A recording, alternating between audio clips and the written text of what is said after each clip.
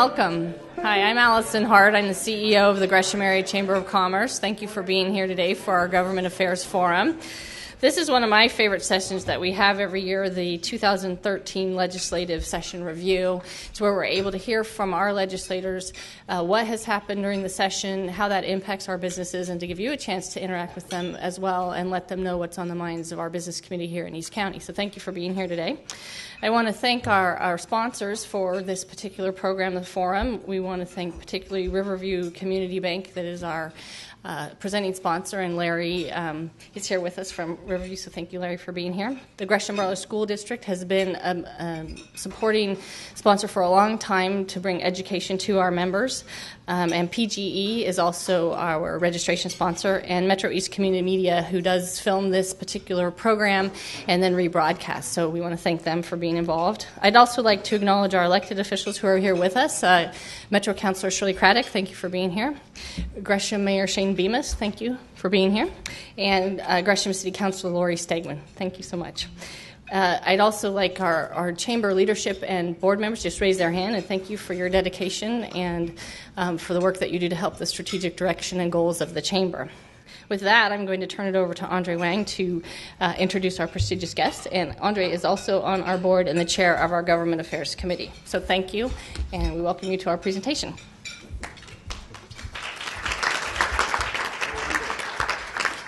Thank you. Thank you, Allison. Well, it's been 15 days since the end of the legislative session, and this, this session had all the makings of a Shakespearean drama. Everything from PERS reform to the CRC to dog tethering. So, one bill that actually germinated here in East County was um, SB 678. This, um, this bill expanded the uh, remedy for workers' comp cases uh, to uh, limited liability companies. This legislation was particularly meaningful to businesses here in our region and uh, we want to uh, just take a moment to thank uh, Senators Laurie Monnes Anderson, Senator Chuck Thomsen, and Representative Greg Matthews for carrying the banner on that bill um, and its passage. So thank you very much. Today, we, um, we have East County's entire legislative delegation before you, and they're here to give you uh, their reflections on the session and answer your questions. Uh, but first, we'll have them give their opening remarks. Each uh, representative and, and, senator will have seven minutes uh, to give us their update, and we'll go in the order of their legislative district. So, first up, representing um, House District 49 is Chris Gorsek from uh, representing Troutdale, Fairview, Wood Village, and North Gresham. Elected in November of 2012, Representative Gorsek just completed his first session and served on the Education Committee, Higher Education and Workforce Development Committee, and vice, served as Vice Chair of the Transportation and Economic Development Committee. Representative Gorsek is an instructor at Mount Hood Community College and has served as a Portland police officer and also a term on the Troutdale City Council. So, to give us his reflections on this first legislative session, please welcome Representative Chris Gorsek.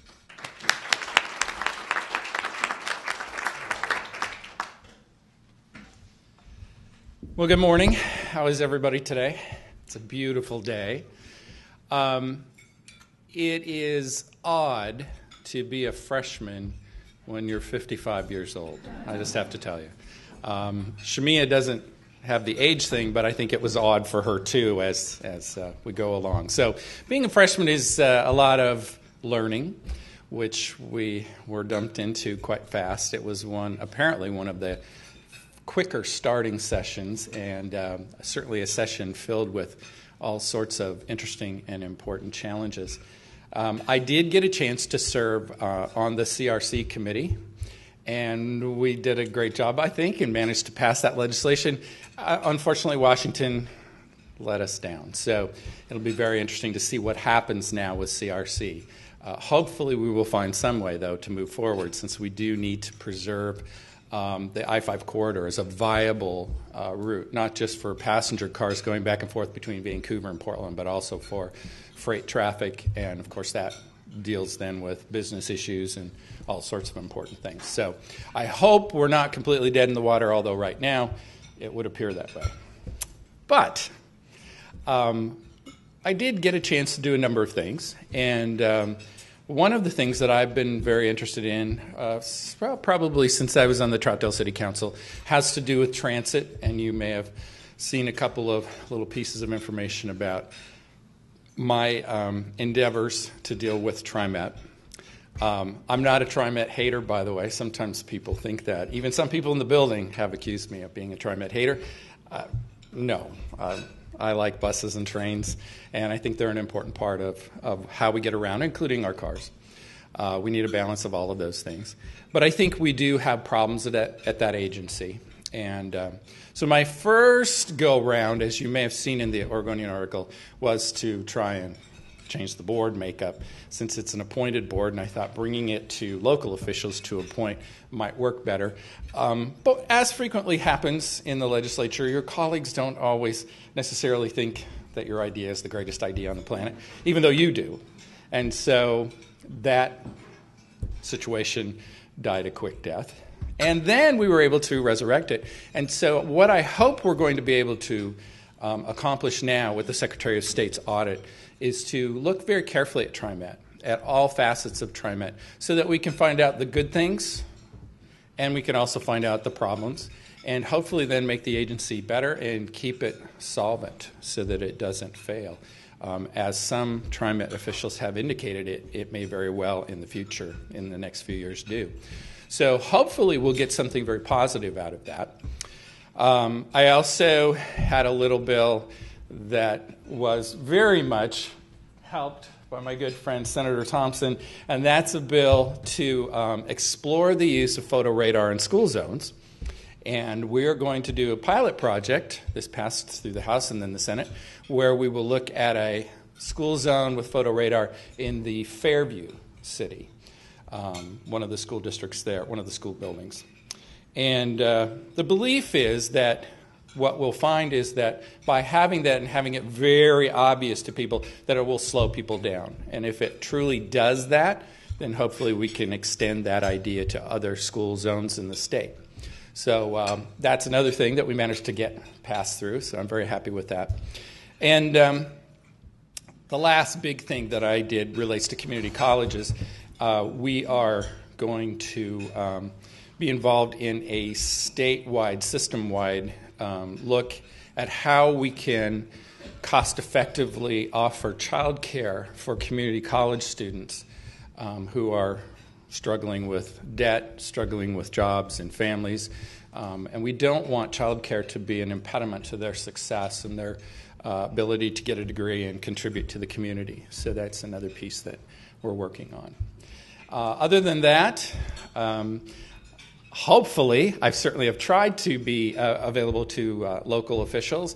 I think that the only way we uh, solve our, our problems and make things better is by being connected to people like uh, Mayor Bemis and, and, others. And so uh, I hope to continue that process. And it is an honor to be here. And thank you for inviting me today. Thank you.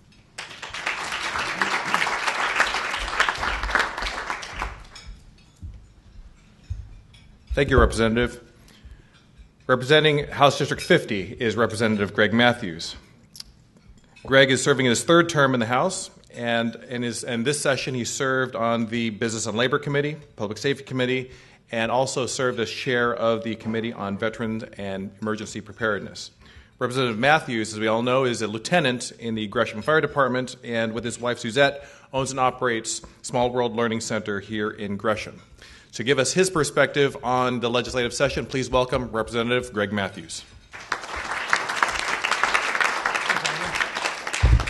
Thank you, Andre, and uh, thank you all for having me here, and thanks for being here. Uh, so it's my third term, and the session started off with a, a, whole lot of expectations.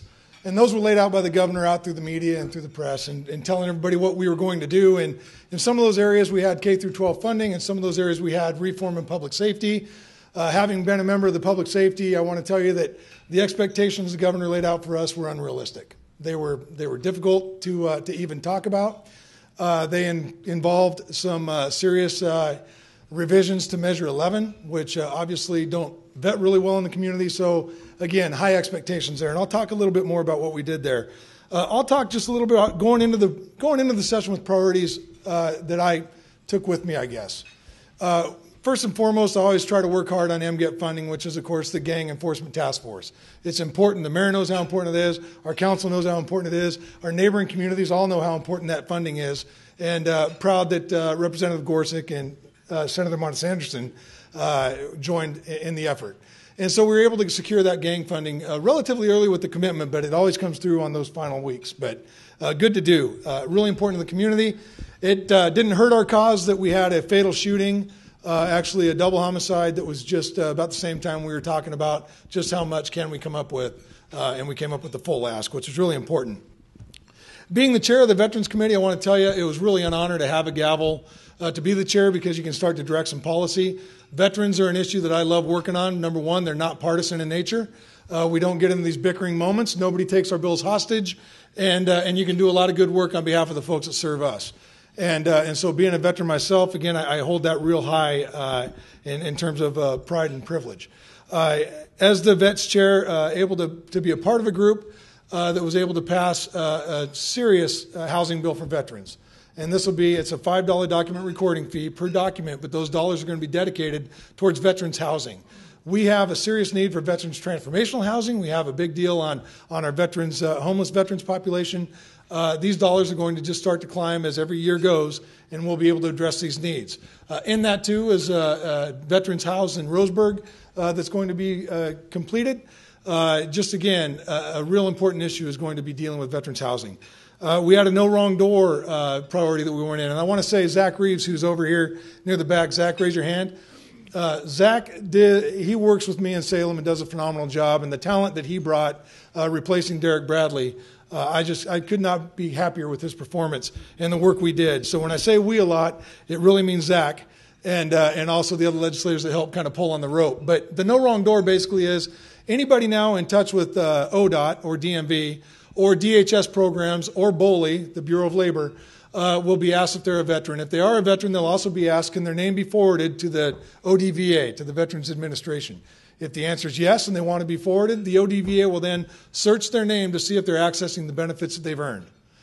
That's a huge issue. There's $4.2 billion of federal money waiting for our veterans access. We've got 330,000 plus veterans in Oregon. We have about 100,000 of them are accessing benefits we can do better. And we have to get them in touch with that. And if we do, we can maybe take them out of some of the county programs or state assistance. And so that's the effort there, and, and, and proud to be a part of that. Uh, in state tuition for veterans. Now, if a veteran moves to Oregon and intend to live here, they'll be charged the in state rate for their tuition. Again, uh, a monumental bill we've worked on now. This was my third session. This year, somehow, it happened. I would have thought we could have done it last session in the uh, bipartisan fashion, but it just couldn't get through. This time, we were able to get that done. Uh, and then in the closing days, uh, Peter Buckley, phenomenal job as the chair of Ways and Means, uh, and Richard Devlin, they set aside $350,000 uh, directed towards suicide prevention for our veterans. Absolutely critical, very important. I hate to admit it, I wish it wasn't so, but it's true. Uh, we have a real issue with the veteran suicide, and, and to be honest, you know, think about calling a helpline that's shut down when you absolutely need their service. so excited about that and really thankful for that. Uh, as the emergency preparedness, we looked at the resilience plan. There's been a strategy on resiliency, figuring out what's going to survive in Oregon. If we hit the earthquake, if we, if we have a tsunami, what's going to occur, who's going to lose, who's going to win, uh, who's going to be safe, who's in danger. All this has come to a forefront, and it's millions and millions of dollars to spend to try to help make this happen, but there's been no prioritization of the dollar. So we're going to have a resilience, uh, we've, we've passed through uh, a resilience uh, committee that will be studying that effort and bringing back a proposal to the legislature to say, here's where the risks lie, here's how we assess them, and here's how we should move forward as a state. Uh, again, looking forward to that. Now, public safety. Public safety was really probably the least sexy of any assignment that you could ever be given. Uh, but I got to tell you, I was so proud to serve on that committee with folks like Andy Olson and Wayne Krieger, uh, Floyd Prozanski, uh, Chris Garrett. I mean, we just had a number of folks that were really dedicated towards diving into this thing. Again, the governor said we could save all this money. And he told us, here's how, you, know, here's what you probably have to do to get there. But it just wasn't looking like we could ever get the support. I certainly didn't want to do that. I didn't want to release the violent offenders, even though perhaps in this plan I'll still be told I did. But, but the, the bottom line is uh, we worked all the way through the final week of the session to get on board, to get to a position of either neutrality or in favor, our district attorney's offices, our sheriff's offices, our chiefs, uh, our uh, law enforcement agencies, our, our, our, law enforcement personnel, the counties, the cities, the uh, uh, victims advocates, with the exception of one, and we came up with a plan and the proposal. It's really unfortunate. Wish we would have got 60 votes out of the House. It became partisan in nature. Shouldn't have been. It's a really great plan. Over the next decade, $362 million will be kicked back into local communities for the programs that start dealing with crime. Keep in mind, $30,000 a year to uh, incarcerate, $10,000 to educate. That's a big difference. Um, I will say uh, I was proud to be on Business and Labor Committee this session. It's probably not what I did that you're most interested in, it's what we didn't do.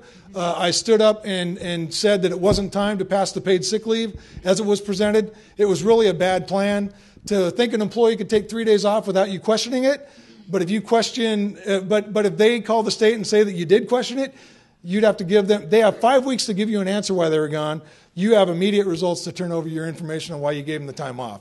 It wasn't a good proposal. I think, I think the concept was genuine. I think they're trying to get somewhere, but to be honest, the plan that was presented just wasn't, wasn't good. And last thing was delis versus casinos, working on that issue. It's easy to say that's what's happening. That's not exactly the case. Worked on Lottery Row, and I'm getting assigned my times, times up. But instead of create a bill that created some sort of statute throughout the uh, entire state, I applaud Speaker Tina Kotek for allowing me to chair a subcommittee to deal with the issues at Hayden Island so that we could fix that problem specific to Hayden Island without a large bill draft that would affect everybody in the state. I think it was the right way to address that. We did good work on that. And again, uh, thanks. Real privilege and an honor to serve Gresham in this capacity. Thank you.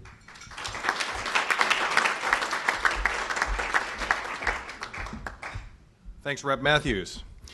House District 51 encompasses North Clackamas County, Southeast Portland, and now Southwest Gresham.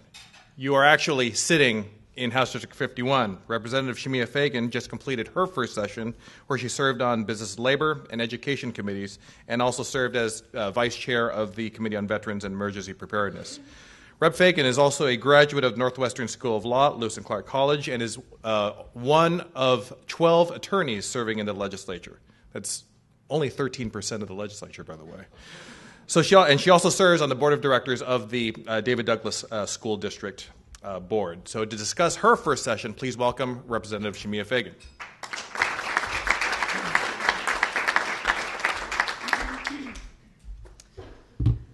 Well, good afternoon. It's nice to take a break from I'm back at the law firm of Ater Wynn, and I was able to work from home this morning in my pajamas and a laptop. So I'm very grateful for that, if nothing else. My priorities going into my first session were simple. I wanted to give my son's generation the same Oregon that the generations before gave me. Because I grew up in little towns in eastern Oregon, my family was incredibly hard off. But because of great Oregon schools, I was able to work hard in school, put myself through college and law school, and build a career as a business attorney. A future that was absolutely inconceivable to me as a child growing up in a poor family. So my priorities were simple to give the next generation that same Oregon so that any kid from any family has a chance to climb that ladder. As a business attorney, something that will be relevant to you, one of the things that I did, Representative Matthews made a funny comment about what we didn't do. Because sometimes it's not the big bills, it's sometimes the things that we don't do. But also, for me, it was the lens that I took to the legislature. As a business attorney, I can't tell you how many times I'm an associate, I do the research. A partner will come to me and say, A client called us, an employer. They have a particular situation, they want to know what the law is. Great. For example, a new employee has a particular ailment. An employer would call and say, We want to know if it's a disability. If it is, what accommodations do we have to make? No problem. I'd start researching. I'd look at the statute. Well, it wouldn't say. And then I'd look at the regulations, and they wouldn't say. So I would start researching case law to see if any judges have written opinions in Oregon on this particular topic, and, and they hadn't said anything. So if I was lucky, I might find a low level court in the southern tip of Florida that had dealt with a similar issue. So we'd go back to our client and say, well, we don't know if it's a disability. We don't know what accommodations you have to make. And maybe a similar, similar situation was dealt with this way. And then, of course, you still get a bill. And so one of my tasks as a legislator and on the Business and Labor Committee was to hammer the drumbeat. Well, let's just make the law clear. Probably at many times to the annoyance and chagrin of my colleagues, we would have someone testify and somebody would ask a question and say, Well, is it intended to cover these people? And from the dais, they would say, No. But the law wouldn't say that. So I would say, well, let's put that in the statute then. And so one of my jobs as a legislator, I believe, was to make the law more clear, to make it so that when you call up your attorney, or maybe when you read the statute yourself, you can just read and go, oh, that's the answer, and not have to get a big bill from your law firm, probably much to the chagrin of my employer, but that's another topic. But that's the lens I had. The priorities I had were straightforward invest in our schools, economic development, and then responding to the needs of my constituents. Investing in education. We increased the school's budget by a billion dollars. I don't often get to use numbers with a B in them, and that was a pretty incredible opportunity. We could have done more. Don't get me wrong. We could have done more. There were negotiations up until the very end that unfortunately did not pass. But we could have done more, but to increase the education budget by a billion dollars was historic. It was an increase unlike the state has ever seen, and I'm proud that we did that, and that was one of the priorities I was happy to deliver on. Economic development. Now, we all campaigned on jobs, we all talk about jobs. But everyone in this room knows the dirty little secret, right? That the state legislature, in the midst of a global economic recovery, we can't do a whole lot to create direct private sector jobs. You guys know that. I think, with one exception, the one direct way the state legislature can actually immediately spur job growth is investing in infrastructure. There are facts and statistics that show that for every one construction or manufacturing worker that you put back to work, supports two and a half jobs in the service sector of the economy. So to me, I thought, you know what? I campaigned on jobs. My constituents talk to me about jobs. The most direct thing that I can do is to support infrastructure. And at the very last day of the session, I was proud to vote yes to pump a billion dollars into the state of bonding dollars all across the st- state, from large projects like $40 million for Connect Oregon to small projects like $3.5 million for sidewalks in East County. But either way, it is putting construction and manufacturers workers back to work, and they are going to then fuel the economy, and the ripple effect is going to be significant and real. And so that was something I was proud to do. Finally, responding to my constituents' needs. When I, I, have a very vast district, I have all the way up in East Portland and Gresham, and then I have all the way down to Damascus and Happy Valley. Very diverse needs. But when I knocked on doors, people pretty much talked about jobs and our schools. But they talked about a couple of other things. In East Portland and East County, they talked about sidewalks, they talked about Powell Boulevard. And so I went to work right off recognizing that we have got to, as a state, take responsibility for Highway 26 or Powell Boulevard is a state highway, and it is nothing less than neglected and orphaned, which is not good for the folks who live on there, not good for the businesses that want to develop out there. And so I went to work on that with mm, actually, I think everyone here was a member of the East Portland caucus. We kind of formed a caucus after the tragic death of a little five year old girl on a street on Southeast 136th in Portland. And so we were able to come together and actually fund a sidewalk project all the way from Foster to Division on Southeast 136th and Powell, excuse me, 136th between Division and Foster. But in addition to that, I continued to fight for Powell Boulevard money because, yeah, I'm happy that we were able to deliver sidewalk money, but the fact is, a little girl died. And I think as leaders, the lowest form of leadership is when we respond to a tragedy. Because let's face it, it's easy to get the money then. It's easier. But we need to be preventing tragedy. So I continue to fight for money for Powell Boulevard and we were also able to secure $5 million for Powell Boulevard to actually put Powell in a position to be a big winner in the state's next big transportation project. So those were some of the things affecting East County that I was working on. And in the end, I'm proud of what we accomplished. And we put together a lot this session, but like my colleagues will tell you, we didn't get to do everything that we wanted to do. And that's disappointing. But in the end, I think that's what makes us legislators and not kings. And I'm happy to go back next session and continue to work hard for you. Thanks.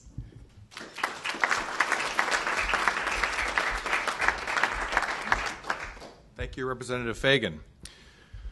From House District 52 is Representative Mark Johnson. Mark's territory extends from Hood River all the way to eastern to the eastern part of Gresham. Currently serving in his second term, Mark serves on the Higher Education and Workforce Development Committee, Consumer Protection and Government Efficiency Committee, and also as vice chair of the Energy and Environment Committee. For over 25 years, Mark has owned and operated his own general contracting business in Hood River and is also serving his third term on the Hood River County School Board. Will you please welcome Representative Mark Johnson?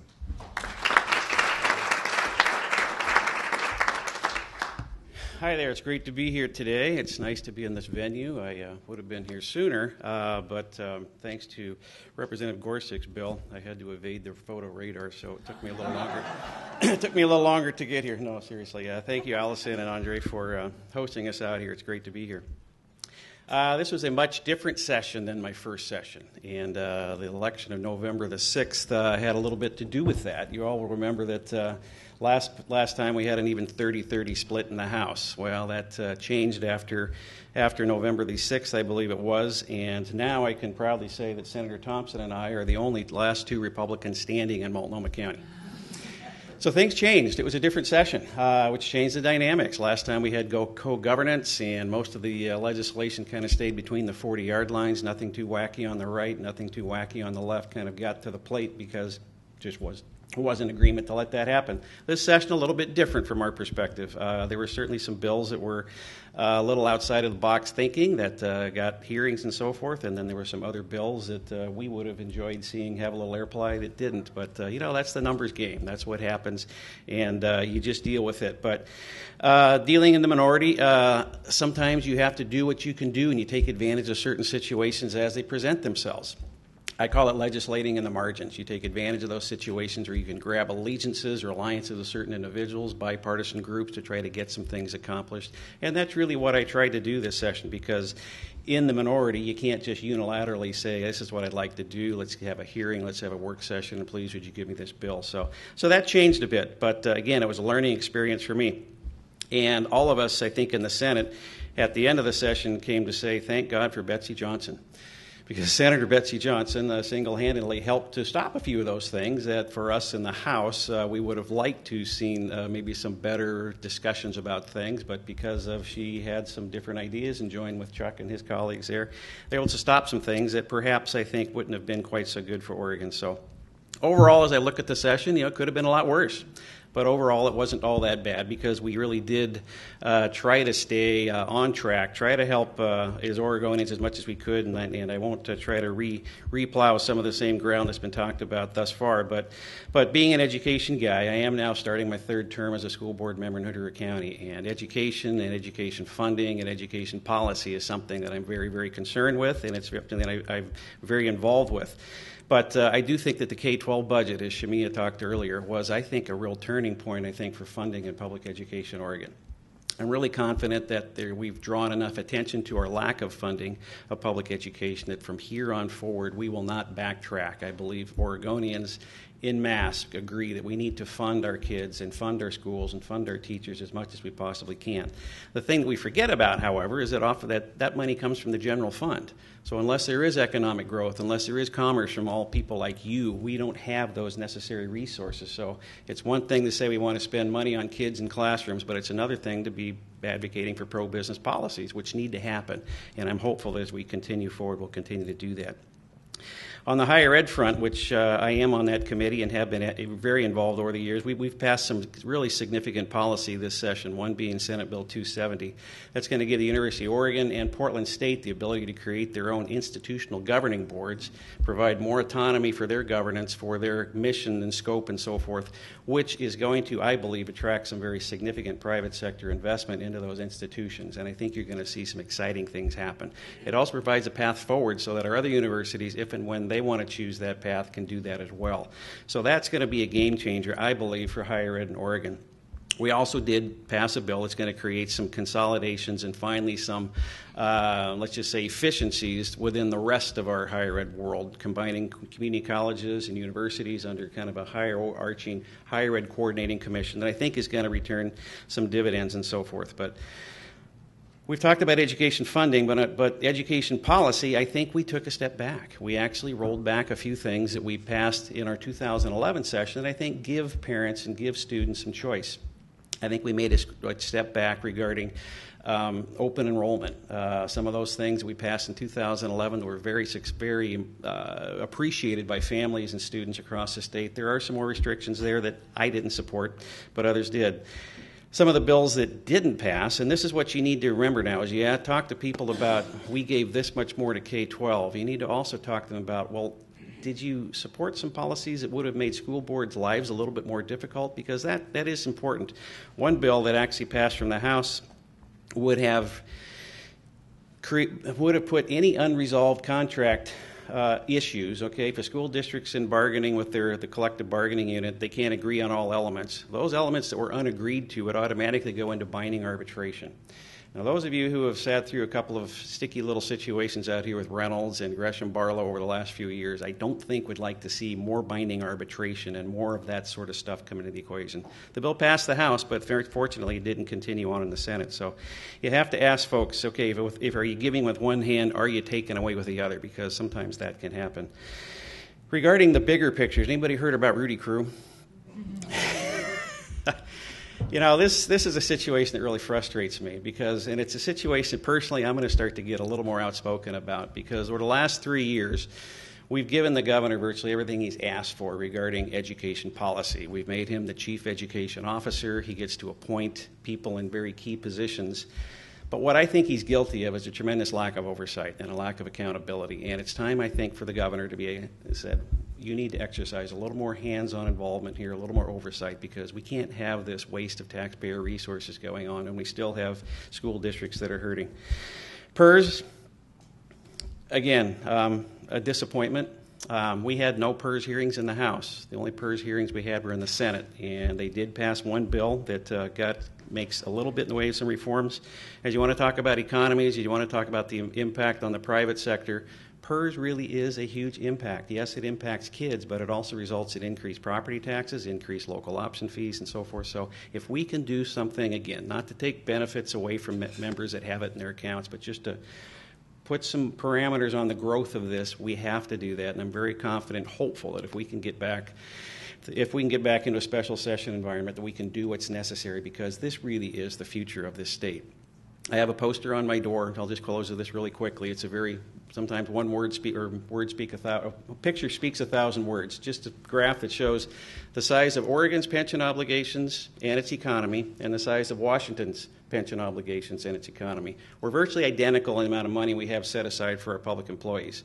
The difference is the size of the economies. Oregon's economy is half the size of Washington, so we're trying to fund just as many pension obligations with half the economic value and boost to do that. Therein lies the problem, and if we want to be competitive, which I know we all do as we try to try to attract businesses, attract folks to come live here in Gresham and in East County, we have to have a public employee system that doesn't bankroll, bankrupt, pardon me, our public sector. So thank you very much.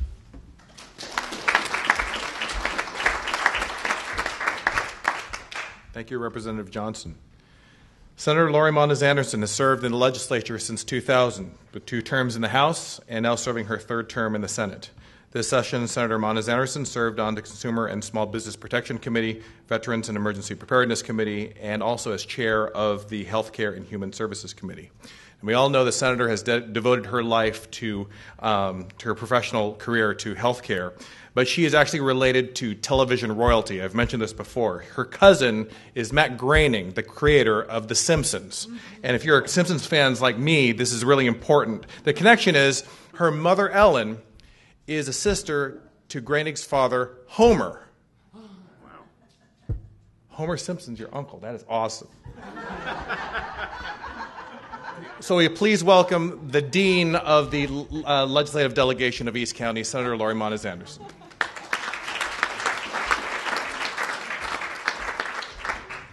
Well, um, rather than being known as a cousin to the create first cousin to the creator of The Simpsons, I really like to be known as the only nurse in in the legislature, and I am the only nurse, and I have a very different perspective, uh, and as is needed in the legislature to have a, a variety of um, people there, and I am very, I am proud of what we were able to do in 2013. Uh, I served on the consumer protection business, small business and consumer protection. I am known as a moderate, and you have to realize a lot of bills did come over from the House, um, and because I was the only moderate Democrat on, on, the committee, there were a number of bills that did not get out of committee. So uh, I just uh, need to know that I think all of us have worked to maybe squelch some bills, and I know that there are members right here on either side of the aisle here that have done the very same thing. But we did address some of the top priorities, I think. And I think in East Multnomah County, it is education, it is um, job creation and raising the incomes of Oregonians, and it is public safety. It's already been mentioned by Greg that we secured $1.7 million for the East Metro Gang Enforcement Team, and that was critical, and all of us were responsible for that. Um, my number one goal was, even though I don't serve on that committee, was to make sure that K through 12 education uh, could begin to stop laying off people and add maybe some school days back and reduce class sizes, and we did, as Shemia already said. Uh, we hadn't been able, we have passed the strongest uh, education budget in nearly 10 years, and that was $1 billion in new resources. So uh, we still have a ways to go. We did increase funding for community colleges, universities, and need based aid for students. There was $8 million that went specifically to Mount Hood Community College and that would include remodeling projects, which will create jobs, and also expanding student service facilities, and also centralizing things like academic advising, career counseling, financial aid, admissions, etc. We also, as been mentioned, approved many uh, capital projects that are going to bring a lot of jobs to this particular community. And we also took, and this is something new, a, national lead in finding some innovative ways to support college affordability by placing the, it's called the Oregon Opportunity Initiative on the 2014 ballot. And I think all of you need to become aware of it. And this is going to um, experiment with a pay it forward pay it back. And it's a new model where students could pay for college with a percentage of their future earnings. It is going to be on the ballot, and it will be up to the public to see if they feel this is a good deal for our students um, that want to go to college. As our economy gets back on its feet, gr- job creation wa- remained a top issue, and it was in the legislature. We passed a number of important bills, but most importantly, um, I counted the bu- bills that passed out, uh, and there were 33 job creation bills. I mean, that's jobs and economic development bills, and and, ni- and additional 19 more for the rural area. The rural area, as I think our two legislators to the immediate right and left of me are, uh, it, it, the economy is really, really far worse uh, there than it is uh, in the metro, met, metro area. But uh, let we. Imp- improve the access to capital for small businesses. We in- increase the availability of industrial lands so that businesses can grow and expand in the state. Uh, we streamline the economic development programs that give businesses a jump start. We also um, increase transparency for Buy Oregon. It's a program that encourages state agencies to buy more Oregon made products. And this is a good step I think, toward more transparency in government, and it's a step toward ensuring that this program is having a, a positive effect on Oregon businesses. We did pass PERS reform that reduces the PERS liability uh, by $2.6 billion, and that was with COLA reductions. We know we need to do more. Uh, we, when I'm talking to the superintendents at Centennial Reynolds or uh, Gresham Barlow. Uh, Gresham Barlow was telling me that they are uh, needing to pay an additional $3 million uh, to the PERS. Um, to PERS this next session, and, and that's just not sustainable for, for them. As the nurse, um, I certainly took the lead on the health care bills and the human services bills, uh, and I worked specifically on 10 health care bills and seven human services bill.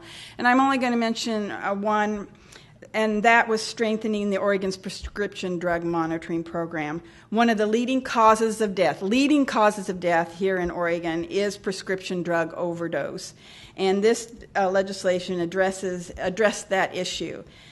Again, I worked on mental health and primary care. That's a big concern across the state, and we passed a number of bills focusing on that. And as our population ages um, and the need grows for health care in rural areas, we took steps to uh, address the health care uh, workforce shortages and improve care across the state. I'm not getting into the details of it, but a number of bills that focused uh, on the senior issues also. Coming up for small businesses is the Oregon Health Insurance Exchange. It's called Cover Oregon, and it's critical to the future of our state. And if you want more information on that, businesses will be able to go online and uh, be able to compare insurance uh, and what they want for their employees to have. Uh, or what they want as a copay. I mean, there, and there are subsidies uh, for that too for the businesses. It'll be very important for you to get involved with that. I want to thank um, Scott Hansen and I know Lori Stegmann and Sue O'Halloran and oh, I'm missing some who actually contacted me on specific pieces of legislation. That is so so very uh, important. So um, I just got the signal that I'm up, so I won't go into veterans issues. Uh, but I think uh, I am vice chair of the Veterans Committee. I worked really hard on some of those issues. But I, there is a lot more that we have to do. And I, I think we've delivered uh, a big portion of it, but oh boy, we have an even bigger portion to address in the future. Thank you.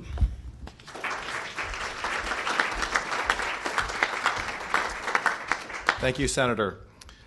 Last up is Senator Chuck Thomsen. Senator Thomsen represents Senate District 26, which includes property in Hood River, uh, Hood River County, Clackamas County, and Multnomah County. Elected in 2010, Senator Thomsen is uh, serving his first term and has served on the Business and Transportation Committee and Ways and Means. Senator Thomsen is a volunteer firefighter with the uh, Pine Grove Fire Department and also owns and operates Thomsen Orchards, the largest pear orchard in Oregon. Please welcome Senator Chuck Thomsen. I, I, don't think we're the largest pear grower in, in, Oregon, but thanks for that, Andre. Maybe per acre, per acre. It's just because I bring him pears and he and he gives me kudos. I think. Well, I, I don't know about the rest of the panel up here, but I'm just glad this session is finally over. Five months um, going to Salem, leaving home Monday morning, staying down there till Friday afternoon, then making a stop somewhere in district on the way home. And then you get home and um, yeah, you got to pay the bills and do the payroll for the orchard, and then spend a little time with your wife and try to get reacquainted after being down there. And we're all we're the most important people in the world when we're down there. And I come home and my I get home on a Saturday. My wife puts me out weeding uh, weeding by the fence. And I said, Christy, I'm a state senator. I shouldn't have to do this stuff.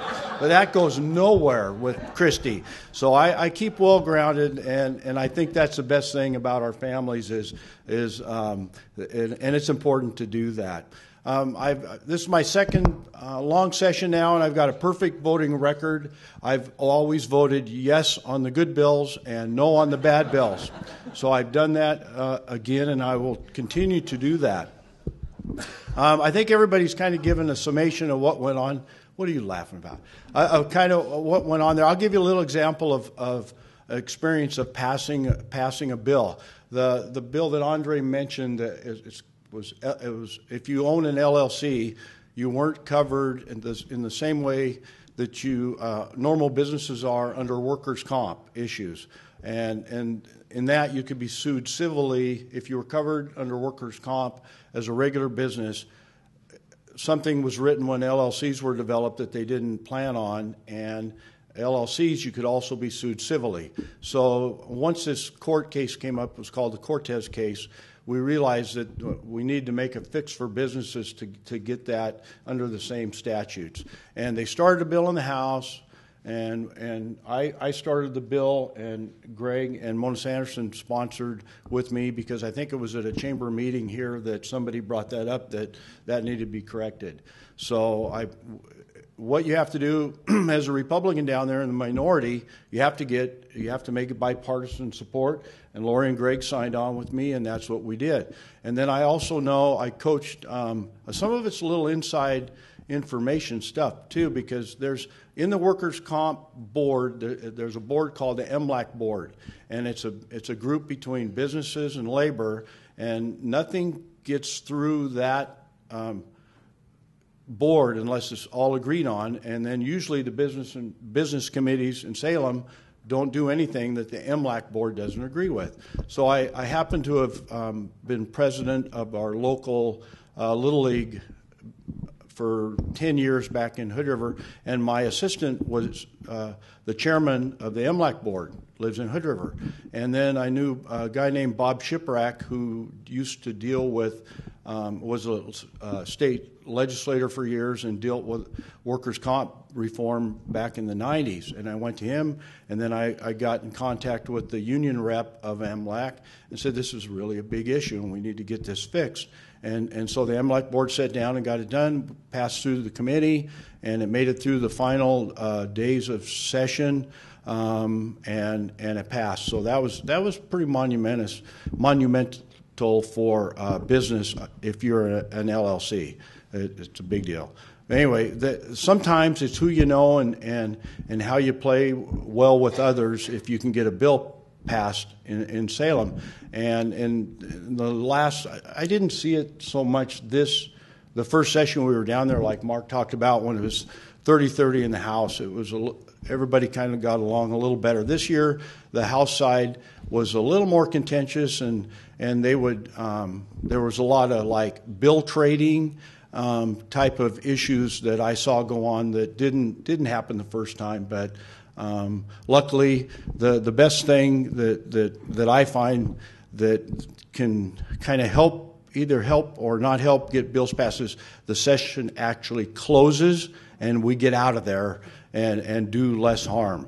Um, I, oh, that's, that's really true, though. It really is. Um, I'll give you a little, my little synopsis on the, on the PERS issue. I think as, as on the Senate side, we're 16 14, so it's really close. And to pass a tax measure in, in the Senate, they needed 18 votes, like two thirds, three fifths. So going into the session, the budget was supposedly off $270 million. And so we, we kind of had a little bit of back and forth to where if we wanted PERS reform, or to get PERS reform, you couple it with some tax increases. So, so we already knew we were 270 million out, and the Republican caucus was willing to give up about 270 million dollars and and get a, a little better PERS reform. But about May, the May revenue forecast comes out, and amazingly enough, it was up 270 million dollars. And so that kind of took the wind out of the sail of, of a grand bargain, in my opinion, because we didn't really need to raise taxes. And so it kind of fell back to where, and then we came up with an idea. Larry George and Brian Boquist in our caucus worked on a small business tax cut that would have saved small businesses a whole pile of money. And, and then that would be our kind of reason to, to raise taxes because you know it, basically it was a, a saying the Democrats, you know, were don't want to re- deal with that because they kind of represent the, basically the union folks, and, and, that's just the way it is. And the Republicans don't want to raise taxes, and and that's kind of the Republican motto. So. It, in order to get a grand bargain, everybody has to win and everybody has to lose, and it just kind of ran out of steam in the end, and we couldn't get an agreement. And I and I think the governor will I, I will bring us back in to um, to deal with that because even at the beginning he he tried to get a like eight hundred million dollar PERS reform and we ended up with about four hundred million. So um, I, I think what I've seen before, like we went, they brought us in and we dealt with the Nike issue in three days back there. And I think if you put 90 people in the room and bring them back for three days, I think we can we can get a PERS PERS agreement this time. So uh, thanks for having me. It's nice to be out of session and back um, on the farm where life is real again. Um, and if, but if you have any issues and you need me to work on something, give me a call. Thanks for having me.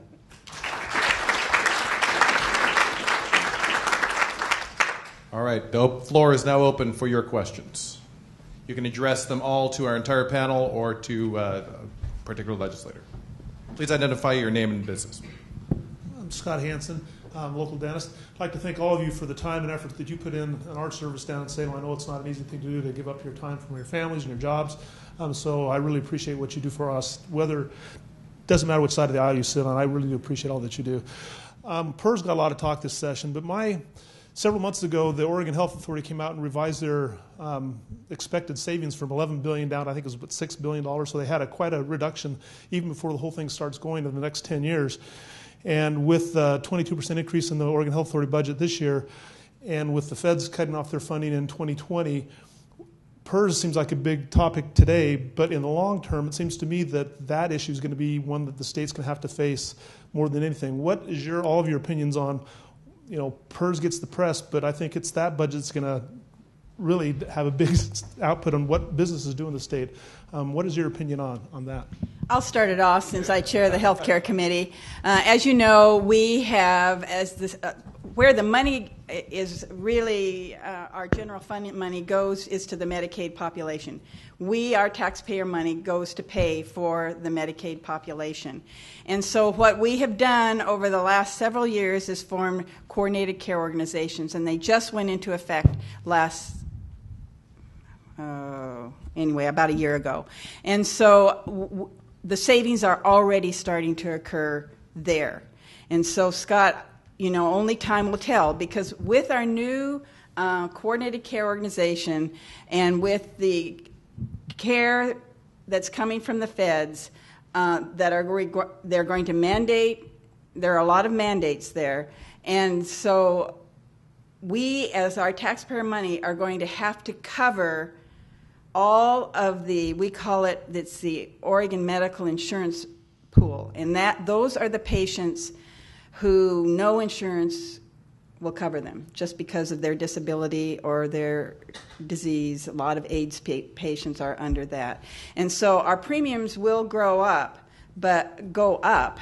Um, but we are starting to see significant fi- savings, um, and we will be getting reports. It's too early, but that's what we have to watch for because I do really believe that the estimates are we will be see- saving millions and millions of dollars. So that will help. It won't maybe necessarily solve, but that will help. We're going to start over with Rep. Gorsek if you want to address it, and then we can move down the table. Oh, at the mic, please.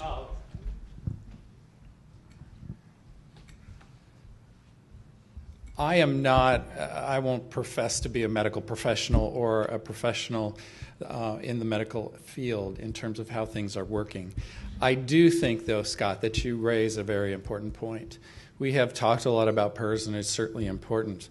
Um, but this is something that goes well beyond just public employees, and it is a serious issue. Um, and I'm disturbed, too, to see that we are suddenly seeing our estimates ratcheted down rather than up. Um, so we need to continue to work on this, but the exact policies, I will have to defer to my colleagues and wait to see that. But I think it's extremely important. And we've seen it with a number of bargaining situations around the state where it's health care that's really the problem. And it's just gone up and up and up. So I hope that uh, the senator is correct and that we will begin to see some, um, some real savings. But it is troubling to see that estimate change.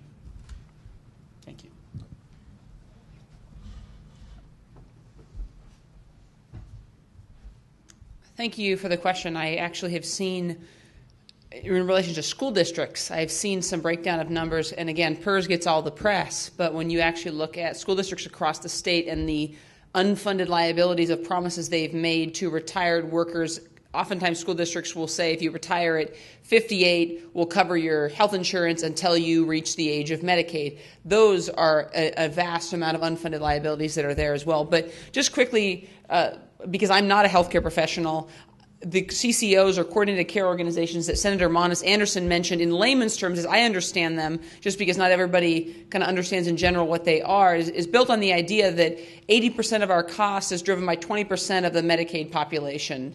And so, what these coordinated care organizations do, at least in my rudimentary understanding, is that under our current system, your doctor only makes money if you have an ailment and you go see them. So if you need a knee surgery, your doctor makes money. If your doctor encourages you to lose weight and you don't need knee surgery, that's a very good doctor, but your doctor doesn't make any money making that recommendation that you lose weight. And so these coordinated care organizations are designed around the idea that instead of paying each fee for service, that each coordinated care organization, which is a group of healthcare professionals, will get a chunk of money. And they get that same money if all their patients end up being healthy and don't need a bunch of services, or they get the same amount of money if they're patients need a bunch of services. So the idea is now the doctor that encourages you to lose weight so you don't need the knee surgery now actually gets compensated for that advice because they get the same amount of money whether they do the knee surgery or not. That's rudimentary, but that's the basic understanding and underlying idea of these coordinated care organizations to drive down the cost by actually including healthcare professionals and giving them incentives to have their patients actually live healthier lives. Yeah, thanks, Scott, for that question. Um, you know, we have as a state, I think, fully committed ourselves to following the federal example, i.e., Obamacare, on where we're going to go with the future. And whether it's going to work or not, I think, is still a very open question it's we're committed. Uh, the state's committed to going on that path. But as you said, if those projected savings don't materialize, we're going to have some major budget holes. And I think you may not have to wait farther than the next biennium to start to see some of that show up. But what one of the things that frustrates me is that we actually had some initiatives this past session that could have, well, just to show you the illuminate the problem that we have. Right now, the Oregon University system has told us and they were in testified in front of our higher ed committee about this. If they could go out and self-insure and come out of PEB, the Public Employee Benefit System, they have in hand documentation saying that they could save about $68 million over the course of the biennium. That's a lot of money. Meaning that's $68 million that doesn't go on the back of students who are paying increased tuition and so forth. Uh, that bill went down in a straight party line vote. We also tried, we also know that a few years ago there was a thing called OEBB, the Oregon Education Benefit board and so forth, which was supposed to be the best thing since sliced bread, putting all school districts into one big, large pool, and therefore it should also save money. Hasn't panned out that way, and we tried again to allow school districts to bust out of that. Oops, to bust out of that to go out and find policies on the open market, where again they have, you know, actuarial analysis in hand saying they could save money. But again, we're all hooked into this notion that we're all going to be into this big soup together, and we're either going to sink or swim together. And that really is the nature where we're at. So, good question. Chuck, you want to take a stab or you want to? Oh, okay. Uh, Rep Matthews. Just to address a couple things that came within the question. PERS was fully funded in 2007. And then, of course, some things had happened, but they had already done reforms years prior in, in other uh, sessions. And so those reforms were working out. We were fully funded in 2007, started to slip, started to slide, as the entire economy did. It's recovering. Here's what's happening now the window of opportunity to make PERS the elephant in the room is closing quickly. And so now we have 270 plus million dollars in a fiscal revenue forecast that we didn't count on. And the only way to get to PERS would be to raise revenue through a tax increase. It's not the Republicans don't want to raise taxes, neither do moderate Democrats. I have no interest in raising taxes on people so that you can further cut PERS just to say we did. And that window's closing. So I just want to make sure that uh, that gets addressed. The other thing I just heard was a party line vote. You know, we had party line votes, a lot of them, because there were several efforts to move things directly to the floor. They call those procedural motions. So somebody stands up, they make a procedural motion, it votes down party line. Democrats say no, never got a hearing. Republicans say please, it's the only chance. It goes down. That's party line. Not exactly well vetted, not exactly hearing. My issue with health care is this we're not addressing the real issue in cost. Right now, as a firefighter, I can tell you when I leave this room, I'll be going to report to duty at Station 76. We will undoubtedly go on a medical call of some sort, and somebody may decide that they want to go to the emergency room. They may make that choice. They may not need to go, but they get to decide. And they get to decide which one they go to. And so they're going to go to the ER in an ambulance. It's about $1,500. They're going to go to the emergency room, tie up a bed in the ER, and eventually that, that room will be what they call red when we call for a critical patient that absolutely needs the nearest hospital. It's very frustrating. We're not having that discussion because in Salem, everybody's too concerned about the liability. How can we relieve the paramedic on scene, our guys, from saying, I'm sorry, you dropped a rock on your toe yesterday. I know it hurts. I know it's swollen, but you don't need to go to OHSU. You should go to the urgent care clinic. You should perhaps have a friend take you, or maybe a BLS, a basic level transport. But a full blown ambulance ride to the ER is not really working out. Now, that's my own perspective. I wish we could change it. I've been working on the issue. Dr. or Senator Bates uh, and I have had a discussion. The problem comes down to the liability and what happens if the person with the hurt toe, and I'm not making this up, it has happened. What happens if the person with the hurt toe has something happen to them while they're in a cab going to the hospital and it's cardiac related that could have been prevented? I have great faith in our medics on scene. I work with some outstanding people in the fire service and in the ambulance support and transport, and I just think it would make more sense and could reduce some of that cost and that liability hanging overhead on a service that I won't say is being abused, but I will say it's being misused. I'll just throw in one thing. The, another thing they're doing in healthcare, because nobody mentioned yet, they, they have something they're working on called the Health Insurance Exchange, and that'll be coming up. Anybody know when that's starting? That'll be this October, and there'll be a computer system program run where you can go online and do a, like a one-stop shop and comparing insurance rates for your individual needs, and that hopefully will help the competition in that. And so you can see them all in one one little spot. You can compare what's the best insurance for you and your family, and hopefully that'll keep the cost down too. Lori Stegmann, Gresham City Council, and also a small business owner for Farmers Insurance. So I, I wanted to thank all of you for representing us so well, and I really appreciate uh, Senator Monnes Anderson supporting the uh, exclusive remedy having to do with the workers' comp that helps small businesses, and Representative Matthews and those uh, else who, who uh, supported that measure. But my question is, is about the uh, lottery row. Uh, and you had mentioned, Representative Matthews, about that that was something that was more contained on Jantzen Beach. However, in Rockwood, there's a lot. I mean, I see a lot of places that really aren't restaurants. And so I just wondered maybe if you could speak to that, uh, since that's something that you're working on. I will, and thank you for your service, Council. I really appreciate it. I. So Lottery Row uh, came about because the folks on Hayden Island were saying that everybody over there is a casino. It's not a lottery. They're not selling delis. They're, they're not selling sandwiches. They're just operating as casinos. And, uh, and really what their frustration was, was uh, there were a lot of activities that were occurring. There wasn't enough security out there. They were working with the Portland Police Bureau. Portland Police was very responsive, but not able to really get things done. Came down to where we, we were able to, to, to step out. Now, here's my take on it. What they wanted to do is based on a percentage of gross proceeds and say if you made X amount of percent in lottery, that you were therefore a casino and not a deli. The problem is not, and, and, and I'm aware because the mayor uh, and I have had this conversation as well. Uh, so, and I'll be working the interim on this uh, and exploring these these places. Uh, there's a place called Lighthouse Deli, and we have one in Gresham. We, there's another one in in uh, uh, Clackamas. Anyway, we'll be touring and working with business owners to identify just what they can do to make it safer, but also who exactly is operating as a casino only, but for a couple bagels for sale and you know beverages, and uh, and that is the issue. In Lottery Row, uh, the way the bill is written, really, it would have taken a lot of folks in rural Oregon that were very concerned that we're really struggling right now as a small business. And when I went into the session, I said, I want to do no further harm. And these small businesses were saying, you know, right now it's the only thing keeping me afloat. Without the machines in my deli, I will have to close this place. And I don't want to do that. And I was thinking, you know, I don't want to be a part of that discussion uh, and have those folks forced to close, but I recognize there's a problem.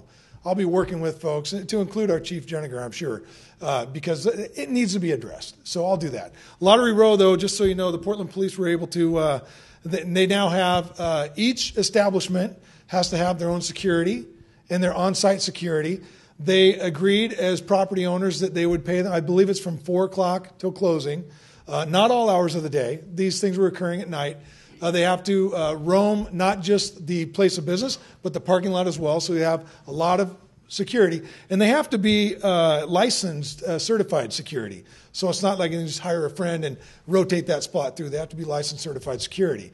Uh, Portland Police was excited about getting that done. It was great because the speaker was able to get a win there. But I'll tell you what, the folks in Hayden Island, they're upset as well about the CRC. And so this just was adding to all of that anxiety. I think we've eliminated it. I'll be checking back with them in the interim, and I'll be working with folks in the Rockwood area and in the state just to find out is the approach the right method. And I'll, i believe we'll be bringing something back uh, in the next session.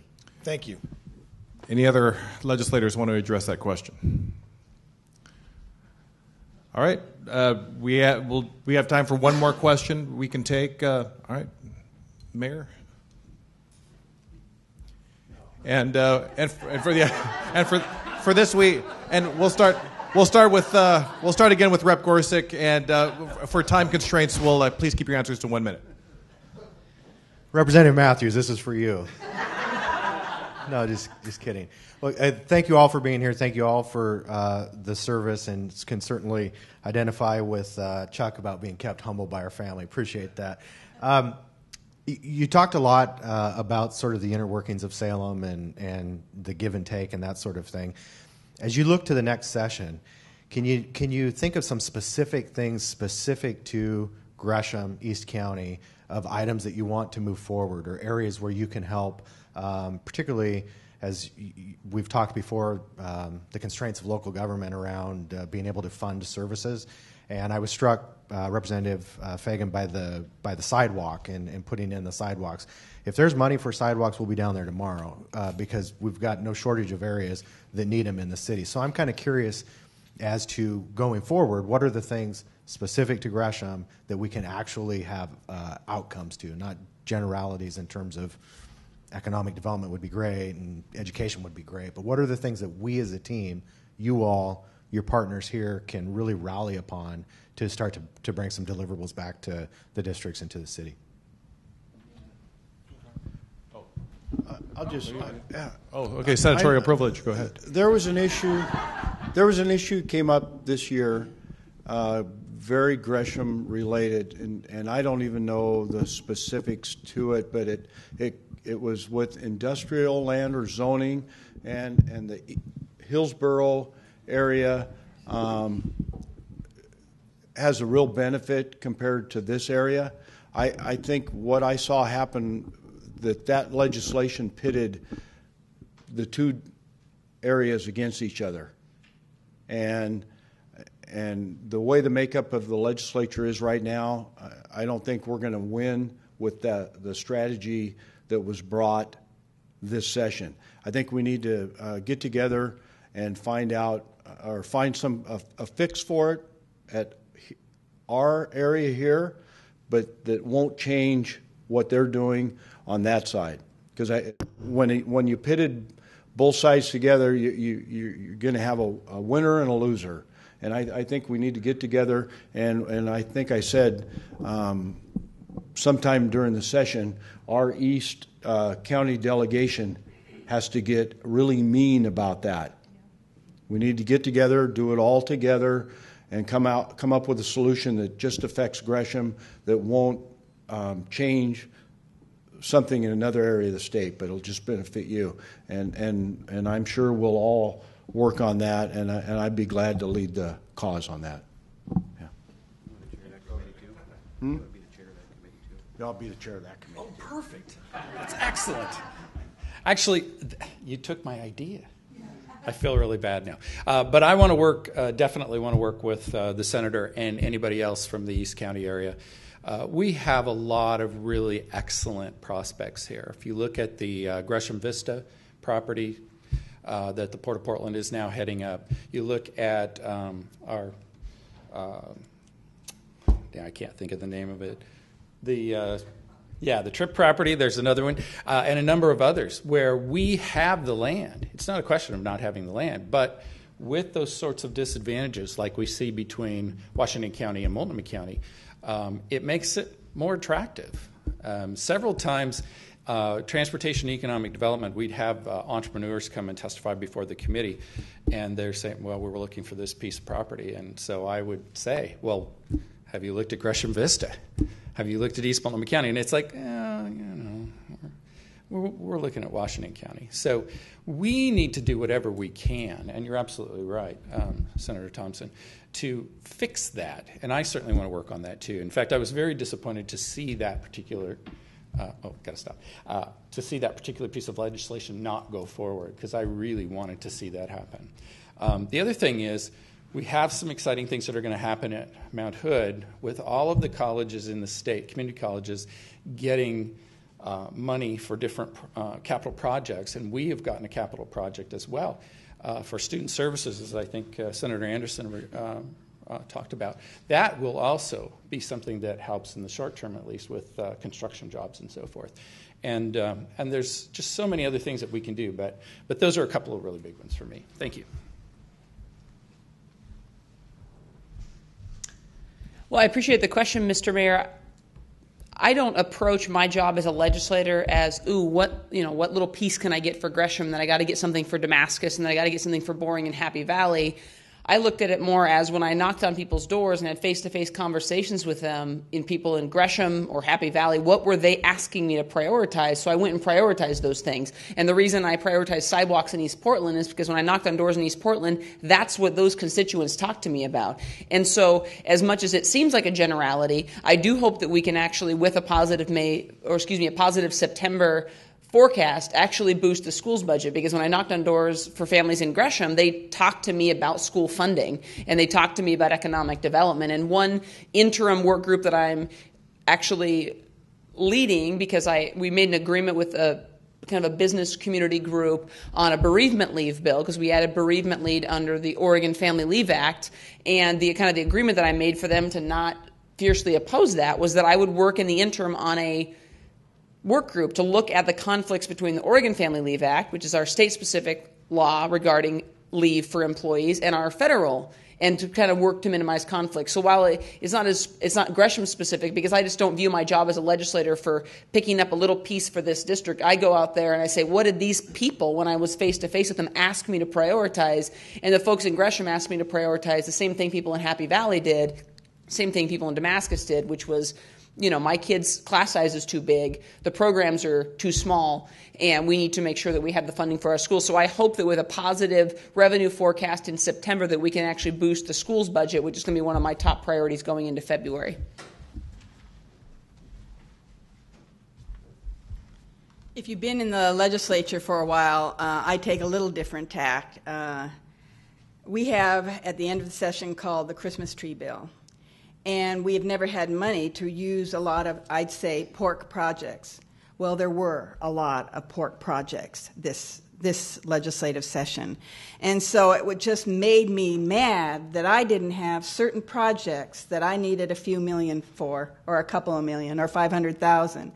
And so I want to have you come to me. What are some significant I call them pork projects that you would like. I've already talked to the PAL Center. You know, uh, th- that is so important. It almost went away, and then the Trailblazers came forward and really helped out uh, with allotting money for that. I am working with the people there, and I'm going to see what kind of money uh, that maybe the legislature could put into that. That is something that we really need to have for our area and then we have the um, uh, arts, you know, how important the arts are. It's very more difficult now to focus on some projects, but if there are some unique projects in the community that you feel we need money, I want to know because then if there is an extra revenue, I, it is a Christmas tree bill, and if I ask for a budget note, I want it I'm going to be there, and we can get all of us together saying this is something that the community really wants. So if the city can focus on it, if the arts or or, or the chamber have certain or sidewalks, please, um, um, you need to come to me. I will meet with anybody, as you all know, and let's work on what specific specifics that we want for our community. Well, I don't think the good senator was calling Shemia sidewalks pork, but maybe she was. Um, regarding economic development, um, you know, within District 52, we've got a couple of opportunities. It, what, what I'd like to get to is trying to look at a regional issues more than just one, because I think as we float, a rising tide floats everybody's boat to a certain extent. And one of the things that Chuck and I work really closely together is natural resource development. And I think what sometimes folks don't realize, perhaps in these gateway communities like Gresham and Troutdale, into the gorge, onto the mountain is that as we can do some significant things up the hill, if you will, it's going to bring people through these communities to buy gas, to maybe spend the night, to have a meal, whatever. One of the uh, prime examples would be the lift assisted mountain bike park up at Timberline. Be a world class destination. It's the same replication of what goes on up at Whistler in BC.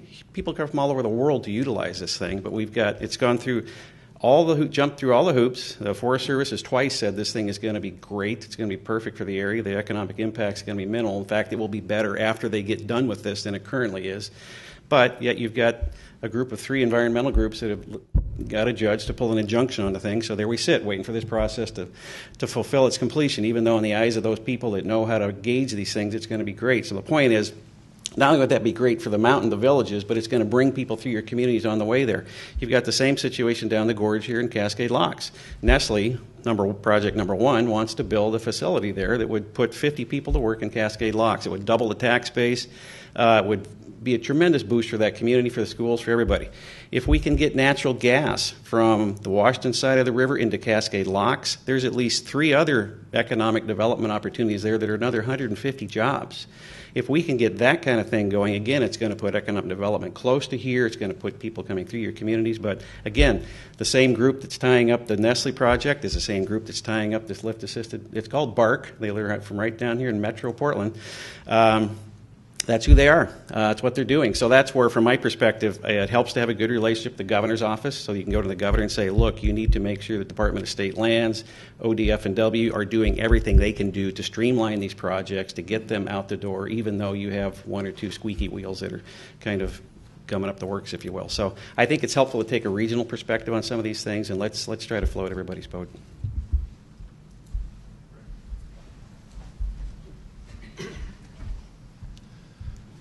I'll take a different approach. I'm not going to take this from regional. I'll take it from just point center straight into my hometown community of Gresham.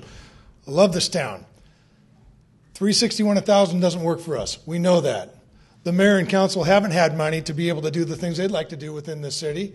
And when they go after other ways to find a way to fund some of the things that are real attractions to make this city special, people weigh in and they judge that differently and they say, Why are you borrowing money? Why are you doing it this way?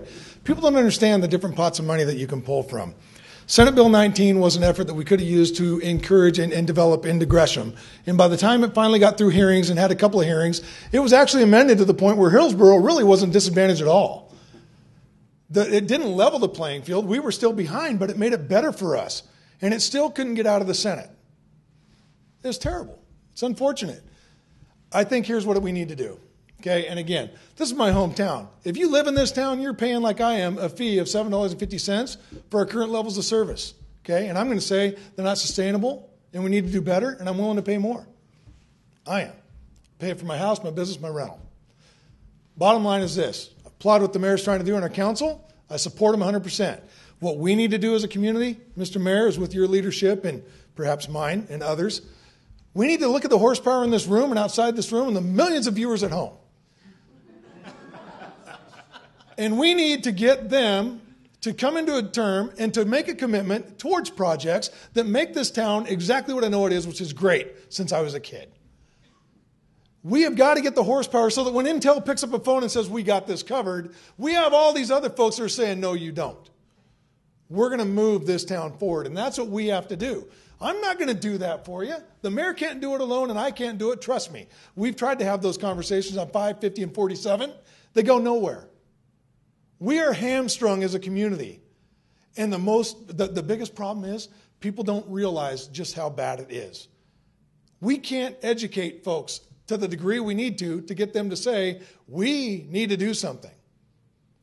Every time there's a homicide, there's another this, there's another that, we start to realize that our town's changing. What I want to see is what the mayor wants to see in our council and the vision of this group, I'm sure, and that is better parks, not just parks, better parks better opportunity, a performing arts center that isn't just a paved parking lot, not even a parking lot. People can walk through. Saw dogs running around them yesterday. We need to figure out what exactly do we want Gresham to look like. I know what my vision is. Same vision I share with my kids, and they're going to live here. They're never going to move away. I told them. They're never going to date either. But the bottom line is, we the, the, the bottom line is really, we can't just expect our council, our legislators, or anybody to do this for us. It's going to take a monumental effort of us. Not just one visit in Salem, a lot. Phone calls, relationships, the fact that this makes a priority for us. And if you're out there and your business is successful and you've got, well, you know what? Weigh in on it. because it'll help your business. The more that we can expand Gresham, the bigger town that we can become, and the more development there is, better opportunity in the schools, better opportunity for our businesses. And if you walk down Main Street, you'll see what's beautiful about Gresham and the fact that plans do work and we are on recovery. But it's going to take all of us. So, to your point, Mr. Mayor, I don't know what the bill looks like. I supported Senate Bill 19. I thought it was coming to the House. We had been working on it and championed it and had a lot of folks ready to vote for it. We didn't get there. Maybe next session, but that's only one small piece of the puzzle.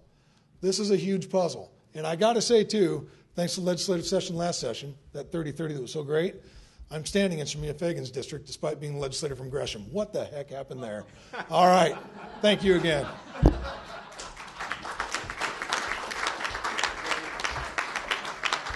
Wow, thank you, Pastor Greg Matthews.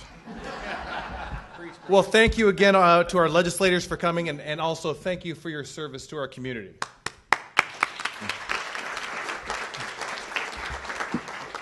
Please take a couple seconds to fill out the evaluation forms to let us know what issues are on your mind. It helps the committee to uh, look at speakers and issues for the, for the future. And also, compliments of Riverview Community Bank. Please uh, take your complimentary mug uh, that's on your tables. Now, I just need to make a quick announcement. Our next Government Affairs Forum will be on a different date at a different location. We'll be meeting on Thursday, uh, August 29 at Fairview City Hall. Our guest will be U.S. Senator Jeff Merkley. And so we had that confirmed just a couple weeks ago. Uh, he'll be joining us for our Government Affairs Forum, and, um, and so we will be meeting at Fairview City Hall Thursday, uh, August 29. Uh, thank you again for joining us today. We are adjourned. Sine die. Have a great rest of the week. That's good news. Yeah.